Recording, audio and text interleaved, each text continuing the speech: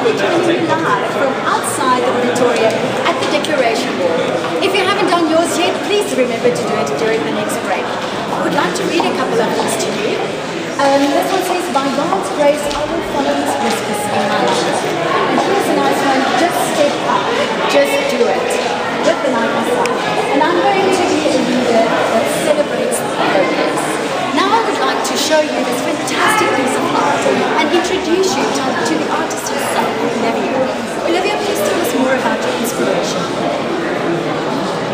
From an artist to a leader, we have all received wonderful gifts, and we are jars um, with little holes, and we should fill these jars with whispers of God, because those whispers will take you from here to the there.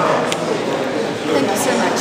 And then I would like to introduce you to Johan Beekers who's working with Olivia on the project. Johan, please tell us more. Thank you.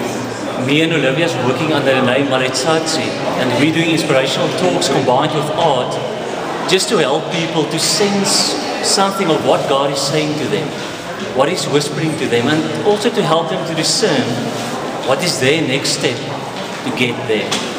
To get more info on this, you can go to our website, artdeolivia.coza.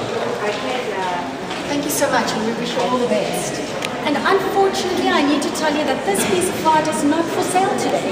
It is actually going all the way to Bill Hybels in the USA, so you'll be receiving a piece of Africa.